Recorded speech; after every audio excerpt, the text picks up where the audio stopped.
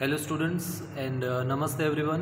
I am Dhaval sir and our today's topic is from your literature part Honeydew uh, chapter number 3 uh, second part right. So uh, in our first part we had discussed about the introduction of the chapter that uh, how the Britishers they ruled in India right and we had discussed three points from the nine points given in the chapter.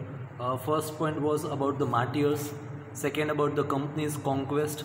And the third one was about the british rule that is from 1756 to 1836 right so in this uh, lecture we'll discuss the remaining six points. Right starting from point number 4 that is raja ram mohan roy.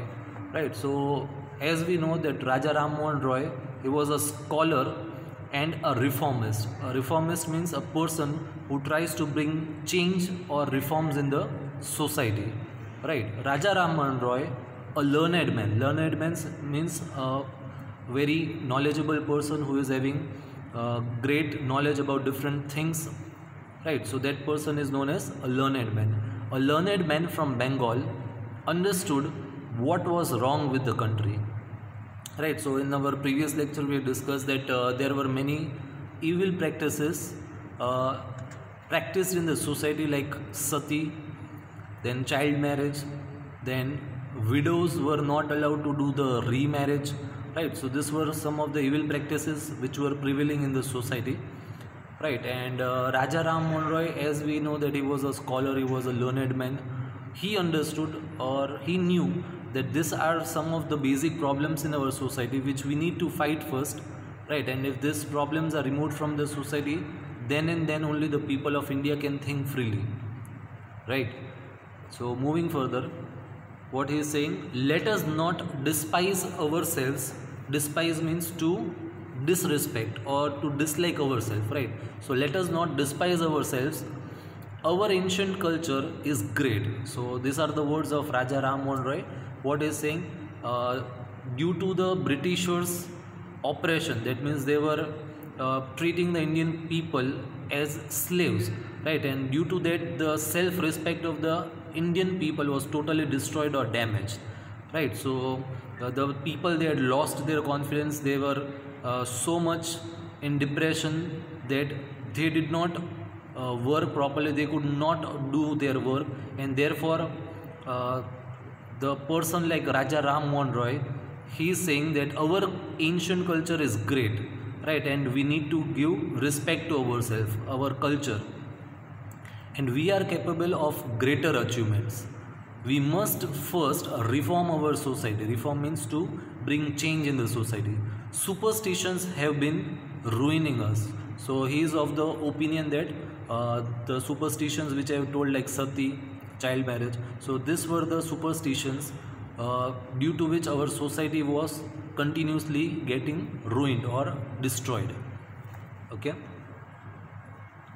He told his wife uma cows are of different colors but the color of their milk is the same.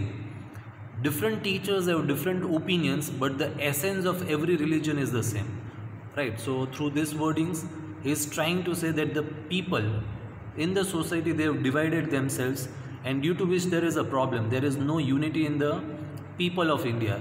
But uh, through this example is trying to say that the people of each and every religion though they follow any other caste or religion but ultimately we all are the same people.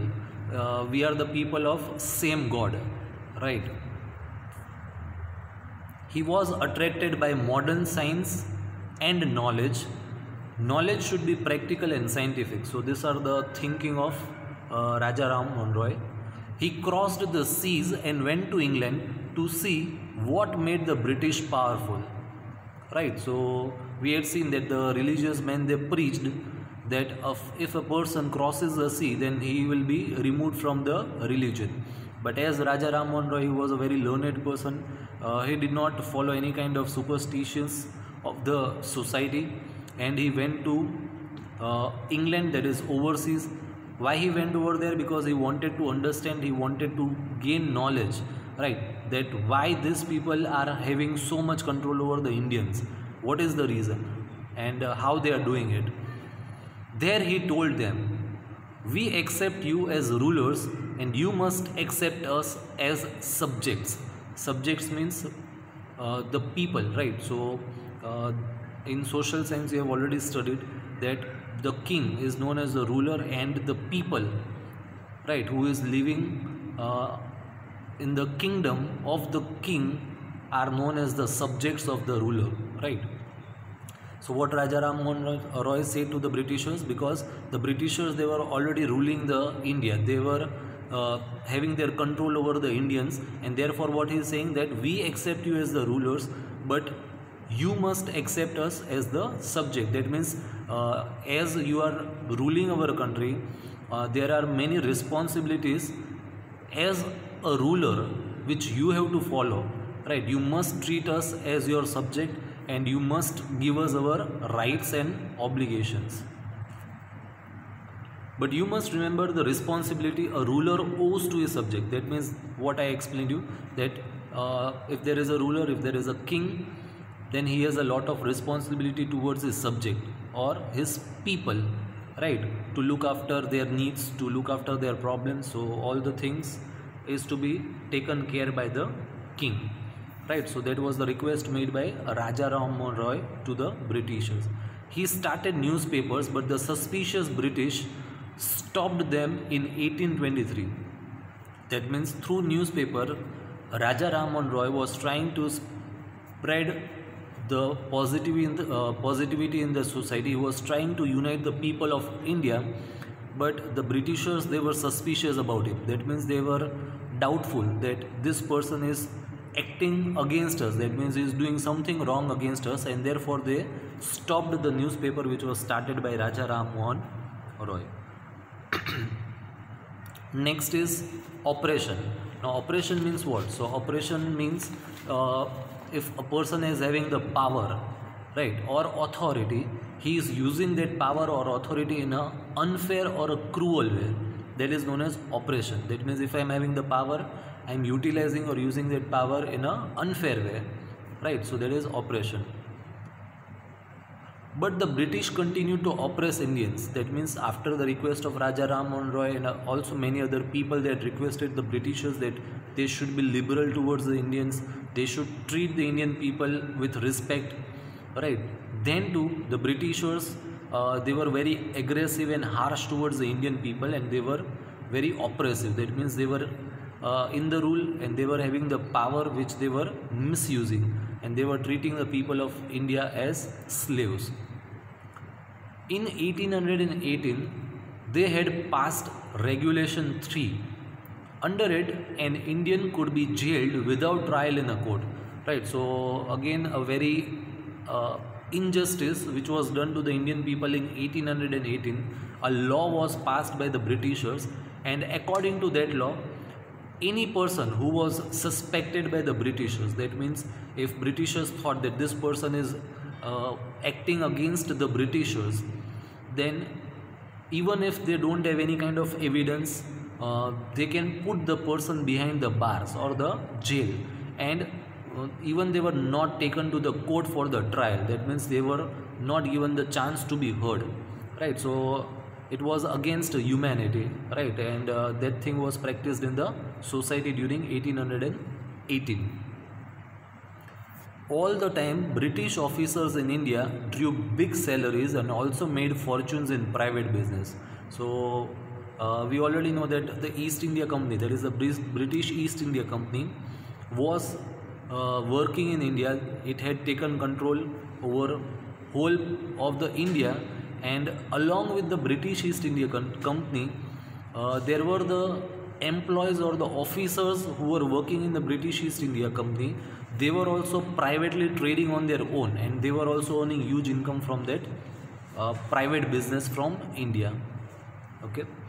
By 1829, British was exporting British goods worth 7 crore rupees to India. Right, so we know that uh, in those days, even uh, hundreds or thousands of rupees had a very big value. Uh, it was very big amount in those days, right? So even at those time also, in 1829, the Britishers they were exporting British goods. That means uh, they were uh, taking the raw materials from India to England, and in England they were producing or uh, manufacturing finished goods, right? That was worth seven crore rupees, right? And those goods they were exporting to India, right? And from those goods they were earning a very very huge amount, right? So that is how the Indians uh, were losing their money because the Britishers they were selling their own goods. They were taking the raw materials from India. They were producing goods in England. And again they were selling those goods in India. From that they were earning huge amount. Right? So from that amount only they were becoming more and more powerful and they were ruling over India. Governor General Bentinck reported back home. The bones of cotton weavers are bleaching the plains of India. The British prospered on the company's loot while Indian industries began to die.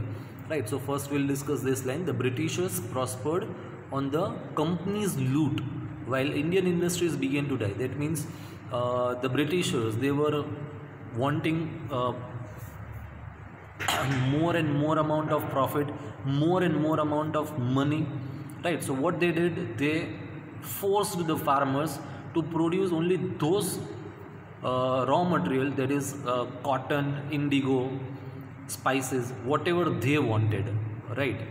And uh, so therefore they took cotton and other raw materials to england.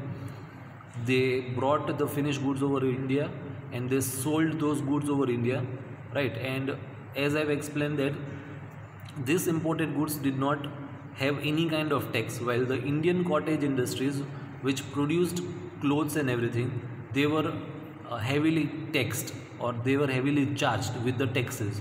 So in this way the indian industries were looted right? They were ruined or destroyed by the britishers. Okay?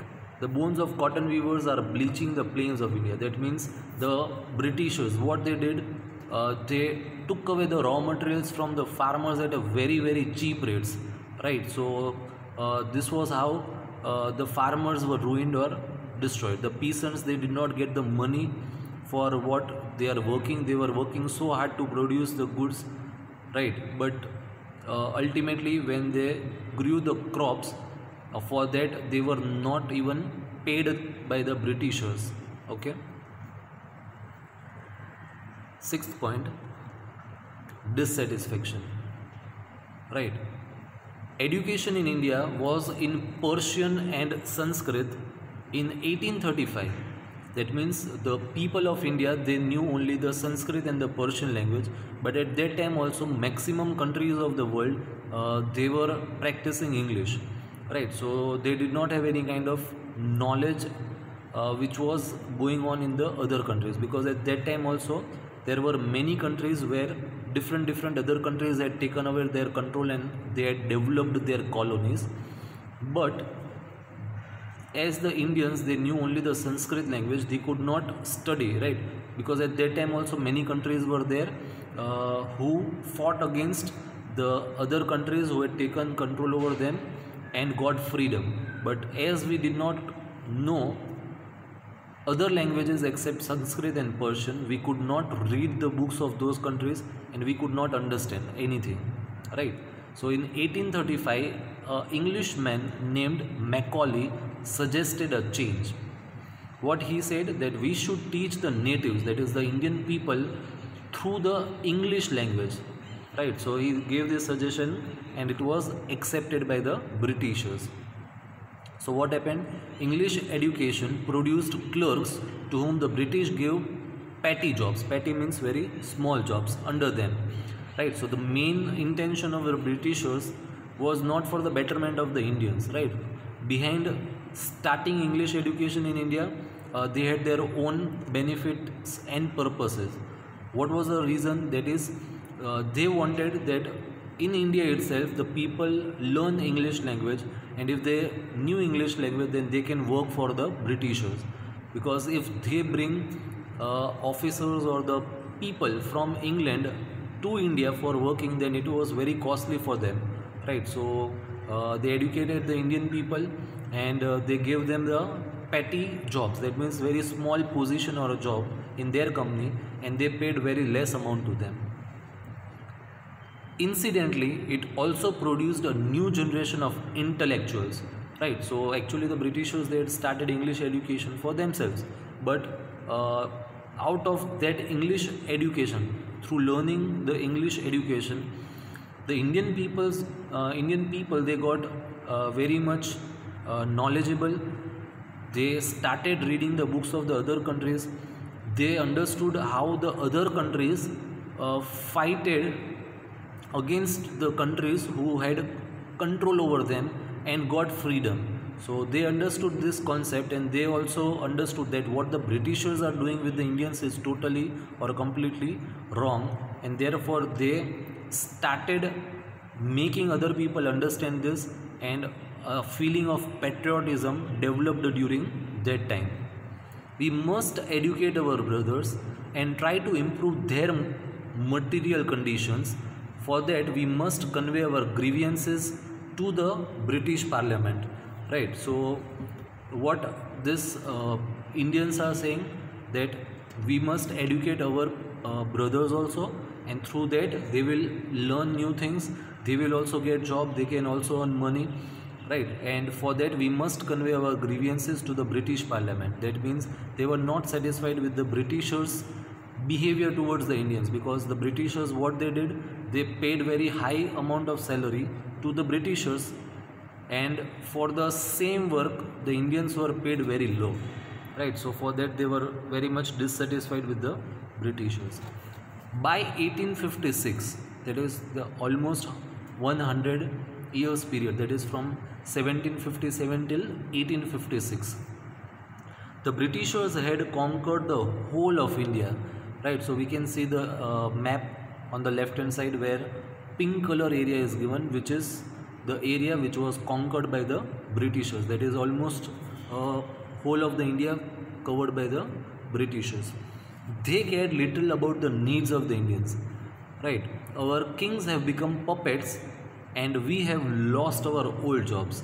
That means the Indians were treated very badly. Right and even the uh, kings they were under the control of the britishers they could not do anything on their own. And lens they are converting our brothers.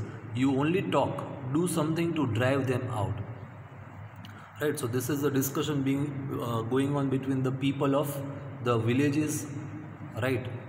Uh, so they were very much worried about that because the farmers they were being looted the industries they were being looted the kings were the puppets under the britishers rule right? And everything was against the indians so they are very much worried about that right? And uh, as the britishers they had started bringing reforms in the society uh, they were very much worried indian people because even with that reforms the britishers were trying to convert the indian people to christianity okay next paragraph that is the sparks. Taxes continued to ruin the peasants. Peasants means the farmers right? So as we have already discussed that the farmers they were forced to pay the taxes. Even if they had a crop failure even if they did not earn any kind of money then too they had to pay a huge amount of tax to the britishers. In bengal the santhals right? Santhal is an ethnic group of the eastern india right so it is a group of people who live in the eastern part of india and they are also known as manji right? So the santhals who had lost their lands under new land rules became desperate right? So we had uh, learned how the britishers they had taken control in uh, the bengal and the different parts of bengal right? So so in 1855 they rose in rebellion. So rebellion means an act of armed resistance. That means the people they fought against the britishers with arms and ammunitions. Right? So they rose in rebellion and massacred europeans. Right? So massacred europeans and their supporters alike. That means this indian people they got so much angry with the britishers that they could not control their anger and they started killing the British people. Okay. Uh, because we know the examples of uh, Chauri Chaura district, right? The police uh, office was burnt and almost 20 to 22 Britishers were uh, means burnt in the fire, right? By the Indian people. So many India Indians they tried to kill the uh, Britishers uh, through their anger. Okay, moving further, discontent. Discontent means dissatisfaction. So discontent was brewing in the East India Company's army too. Right. So why there was a discontent in the British army? Because uh, there also injustice was done towards the Indian people. Right. For the same job, the Britishers were paid almost 100 rupees, and for the same job, the Indians who were working in the British army were paid 7 rupees. So we can understand the difference, what injustice was done. And along with that, uh, we have learned in social science that the Britishers uh, they produced the grease which was used in the guns, right, which had to be beaten by the uh, Indians, right, was made from the beef, the meat of the beef and pig. Beef is a cow and uh, pork pork is a pig right so the indians right so indians consist consisted maximum of hindus and muslims. So hindus considered beef that is cow as mother god. And uh, the muslims they con- consider pork that is the pig as a bad thing. Right so they had to beat away the uh, cartridge which was used in the Royal Enfield gun. Right so they were very much angry because they were forced to do that work which was uh, absolutely unaccepted by the people of India right? So there was discontent there is dissatisfaction among them. The white soldiers gets huge pay mentions to live in servants. That means they were given houses to live in they were paid a huge salary. But in front of that the Indians were paid very less amount. While we get a pittance and slow promotion. So pittance means a small amount right as i have discussed. And uh, the promotions were also given to the white skinned people that is the britishers. Uh, but the indians they got very uh, less promotion or a very slow promotion. The Angrez asks us to cross the sea which is against our religion. Who is the topiwala to abolish our age old customs? Right so here the topiwala means the britishers they are talking about we must drive out the Angrez that means they are trying to say that uh, the britishers they are not uh, acting properly against the British uh, Indians and therefore we must remove them from our country. Sepoy Mangal Pandey attacked the adjutant. Adjutant means the assistant officer. Adjutant of his regiment and was executed. So Mangal Pandey was a soldier in British army but as he was very much angry he could not control his anger and therefore what he did he killed the assistant officer in the British army. Thousands of other sepoys revolted. They were stripped of their uniforms. That means they were removed from the jobs humiliated and put in irons. Put in irons means they were put behind the jail or the bars. Few Englishmen had cared to understand Indian customs or the people's mind. Oh, proud Brahmin soldiers! Do you know that the grease on the bullet you have to bite is made from the fat of cows and pigs? Right, so this is what the Indians came to know, as I already discussed, that this thing were actually totally unacceptable by the Indians what the white man has deceived us too. That means the soldiers uh, when they came to know about this they felt cheated right? They were very much depressed. Soon chapatis were sent from village to village to tell the people that their emperor would want their services. Yes all my village men will be ready. That means through chapatis. That means they tried to pass on the message because the britishers they were very active and they did not want that uh, anyone act against them. So uh, through different different means the people they tried to pass on the message right? So through uh, chapatis uh, in all the villages uh, messages were passed that the rulers or the kings they wanted the people support to fight against the Britishers. Similarly, lotus flowers circulated among Indian soldiers death to the foreigners. That means through this they tried to pass on the message that now we will not tolerate the humiliation by the Britishers and we will fight against the Britishers and uh, will kill the Britishers. That means uh, will give death to the foreigners. The masses gave all help and shelter to the patriot. Right, the masses gave all help and shelter to the patriot. That means the people who were fighting against the Britishers, right, they were totally supported by the people of India. Okay, that is next is revolt. So, uh, revolt of 1857. Then there was a violent outbreak at Meerut. Right, as I said that uh, Mangal Pandey he attacked the assistant officer of the Britishers and because of that a war broke out and there was a fight between the Britishers and the Indians. The sepoys marched to Delhi. Long live our emperor Bahadur Shah. Right, so the rebellion spread wider. That means the Indians were so much dissatisfied with the Britishers that they started fighting. They started a war against the Indians for the or uh, against the uh, Britishers for the first time together. That means at that time it was for the first time when a huge crowd, a huge group of people, a huge group of Indians they got together and they decided to fight against the Britishers. Many landlords had lost their lands because of the British policies and they were sore. That means they were unhappy. The white man's rule must end yes we will help you that means these are the people of india right who had suffered a lot and they were deciding to fight against the britishers and to remove the britishers from india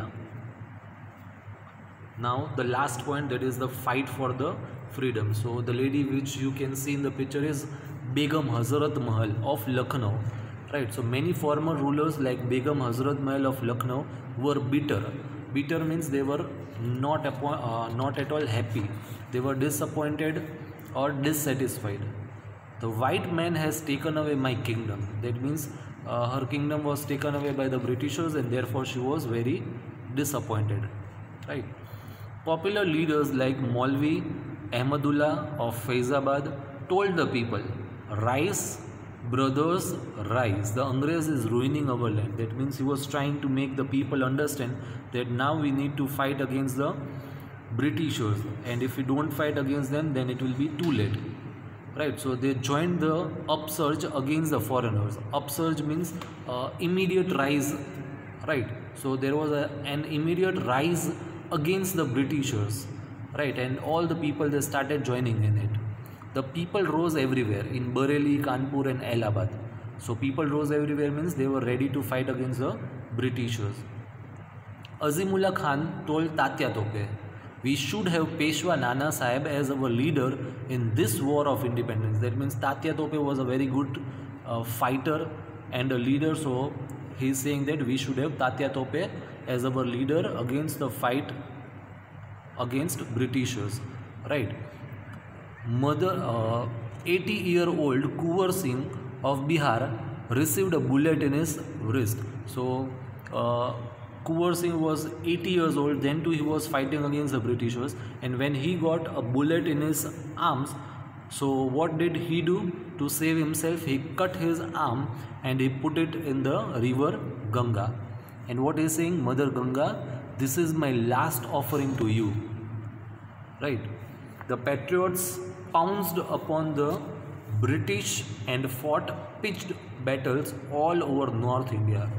So pounced means to attack or uh, act suddenly without hesitation. That means now the Indians they had become fearless and they had decided that anyhow will remove the Indian uh, Britishers from India.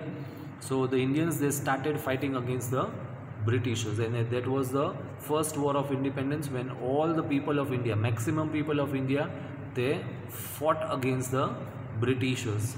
Okay, they united together and fought against the Britishers. So here our chapter gets over, right? Uh, thank you everyone for watching my video. Uh, till our next video, Uh, stay healthy and stay safe.